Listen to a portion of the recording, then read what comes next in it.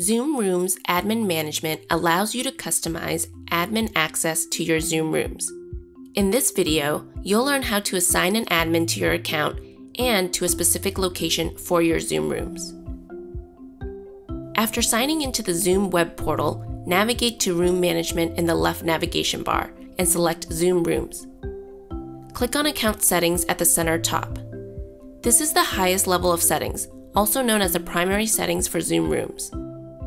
Admins assigned from here have access to the entire account, meaning all Zoom rooms.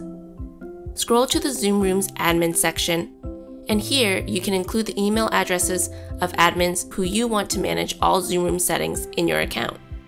Users must already be assigned an admin or member role on the organization's account. Click Save.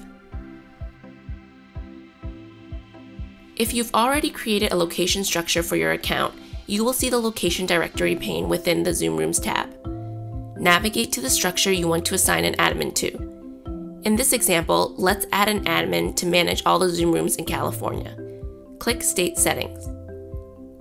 Scroll to the Zoom Rooms admin section, and here you can add the email addresses of admins to manage all the Zoom rooms in this structure only, or in this case, California. You'll also see other admin emails that have access to this structure. Click Save.